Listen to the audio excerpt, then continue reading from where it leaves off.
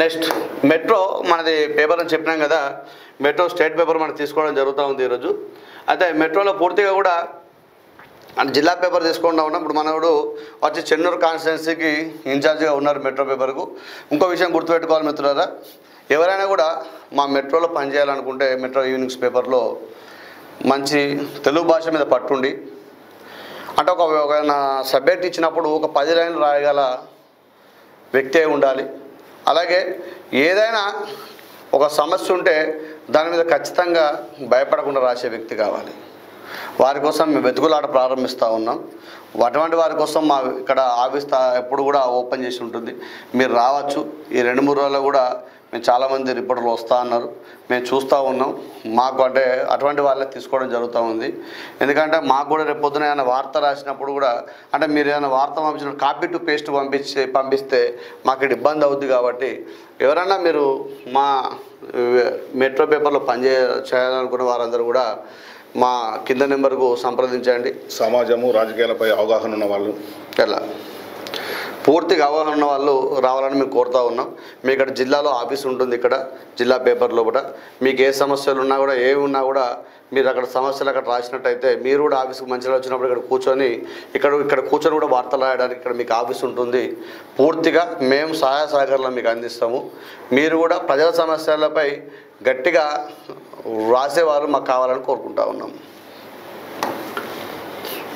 Group one main school line clear petition కొట్టివేసిన high court. రాజ్నాథ్కు రేవంత్ రెడ్డి గారు స్వాగతం పలికినట్టు కూడా రావడం జరిగింది. వికారాబాద్ జిల్లా పూడూరు మండలంలోని దామగుండం అడవి ప్రాంతంలో నేవీ రాడర్ స్టేషన్ భూమి కోసం విచ్చేసిన కేంద్ర రక్షణ శాఖ రాజ్నాథ్ సింగ్ గారికి నిన్న బేగంపేట ఎయిర్పోర్ట్లో సీఎం రేవంత్ రెడ్డి గారు ఘనస్వాగతం పలకడం జరిగింది. అలాగే దేశ భద్రతలో రాజకీయ రద్దు. దేశ అభివృద్ధిలో తెలంగాణ పాత్ర కీలకం. అన్ని విధాలుగా అండగా నిలిచిన సీఎం రేవంత్ రెడ్డి గారికి అభినందనలు. రాడార్ కేంద్రానికి శంకుస్థాపన చేసిన రక్షణ శాఖ మంత్రి రాజ్నాథ్ పాల్గొన్న సీఎం రేవంత్ రెడ్డి కేంద్ర మంత్రులు కిషన్ రెడ్డి గారు అలాగే బండి సంజయ్ గారు.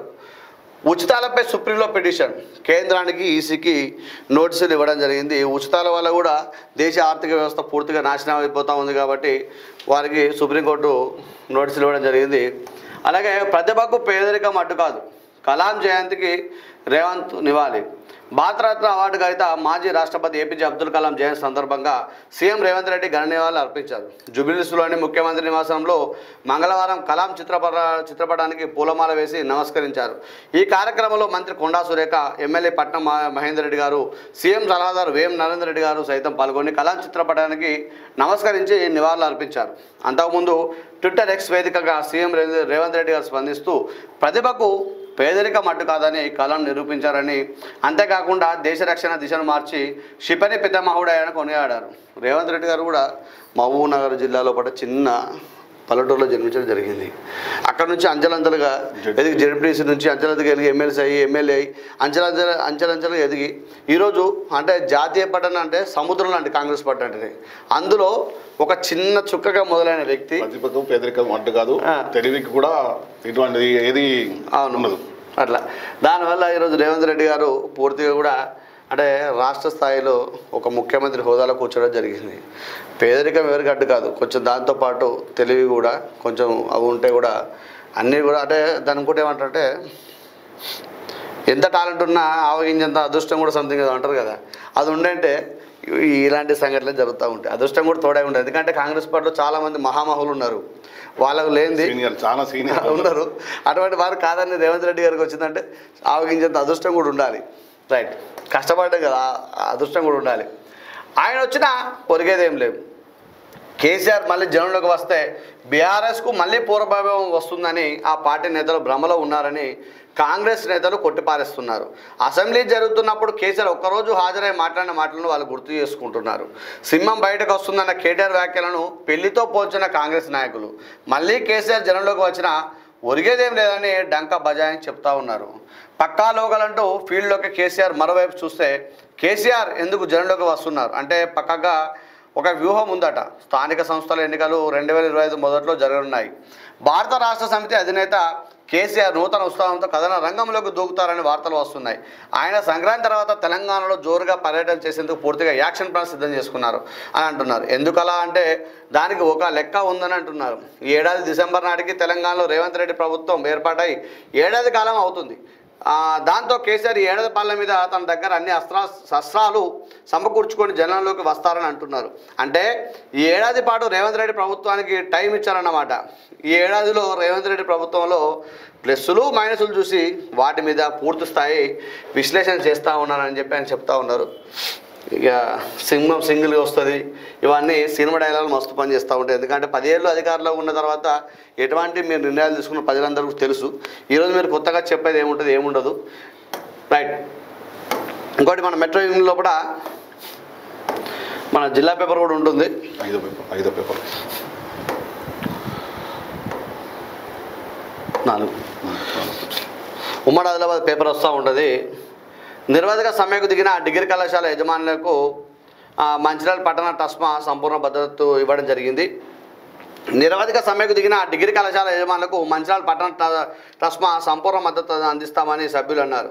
ఈ సందర్భంగా మంచిరాల పట్టణ ట్రస్మా అధ్యక్షులు కొమ్ము దుర్గాప్రసాద్ మాట్లాడుతూ రాష్ట్ర వ్యాప్తంగా డిగ్రీ కళాశాల యజమానులు నిర్వాధిక సమ్మెకు చేస్తున్నారని కాలేజీలకు కోట్లలో స్కాలర్షిప్ గత మూడు సంవత్సరాలుగా బకాయిలు ఉన్నాయని అన్నారు. మూడు సంవత్సరాలుగా విడుదల కాకపోతే ఆ కళాశాల యజమానులు బిల్డింగులు కిరాయిలు కట్టలేక బోధన బోధనేతర సిబ్బందికి జీతభత్యాలు ఇవ్వలేక రవాణా కోసం ఉపయోగించే బస్సుల యొక్క డీజిల్ ఖర్చులు డ్రైవర్ జీతాలు చెల్లించలేక మెయింటెనెన్స్ ఖర్చులు భరించలేక కొంతమంది కరస్పాండెంట్లు ఇప్పటికే కళాశాలను మూసుకోవాల్సిన పరిస్థితి ఏర్పడిందని వారు చెప్పడం జరిగింది. అయితే ఇంకొంతమంది అదే దోవ పడతా ఉన్నారే ఇంకా ఆర్థిక ఇబ్బందులు తాళలేక అక్కడక్కడ ఒకరిద్దరు కరస్పాండెంట్లు ఆత్మహత్యలు కూడా చేసుకుంటారని సంఘటనలు జరిగాయని. ఇది నిజంగా విద్యా వ్యవస్థకి ఒక గొడ్డలి పెట్టు. ఎంతోమంది పట్టభద్రులు రాష్ట్రానికి దేశానికి అందించిన అందిస్తున్న కళాశాలను ఈ రకంగా చిన్న చూపు చూడడం చాలా బాధాకరమైనటువంటి విషయం. కాబట్టే తక్షణమే ఎటువంటి షరతులు లేకుండా పూర్తి బకాయిలను వెంటనే చెల్లించాలని టస్మా మంచిర్యాల పట్టణం తరపున రాష్ట్ర ప్రభుత్వాన్ని కోరారు. మంచిరాళ్ళ టస్మా పట్టణం తరపున తమ పూర్తి మద్దతుని డిగ్రీ కళాశాల యజమాన్యానికి అందిస్తామని తెలిపారు.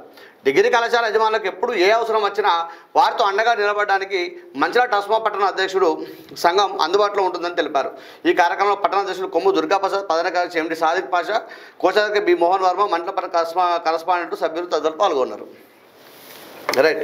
ఎందుకంటే డిగ్రీ కళాశాల యజమానులు కూడా పూర్తిగా మూడు సంవత్సరాల నుంచి బకాయిలున్నాయి అందరూ అప్పుల ఇబ్బందులు ఉన్నారు. కాబట్టి చేయాలని అంటున్నారు. రైట్. మందమారి ఏడు కారణాల రైలు పట్టాలపై గుర్తు తెలియని మృతదేహం మందమారి ఏడు కారణాల మోరి వద్ద గుర్తు తెలియని మృతదేహాన్ని స్థానిక ప్రజలు మంగళవారం గుర్తించారు. ప్రమాద సంఘటన స్థలానికి Mandamarri civil Mancherial railway post పోలీసులు చేరుకొని మృతుడి వివరాలు సేకరిస్తున్నారు ఈ ఘటన ప్రమాదవశం సంభవించిందా లేక ఆత్మహత్య అనే వివరాలపై పోలీసులు ఆరా తీస్తున్నారు. పూర్తి వివరాలు విషయాలు తెలియాల్సింది. ఏడు కారణాల మోరు ఉంటుందా? ఉందా? అక్కడ ప్లేస్ అది ఏడు కారణాల మోర్ రైట్ ఇది జిల్లా పేపర్ ఉంటుంది. ఎవరైతే రిపోర్టర్లు టూ త్రీ డేస్లలో అవుతుంది పూర్తి సమాచారం పూర్తి వివరాలు కూడా ఇందులో ఉంటాయి. రైట్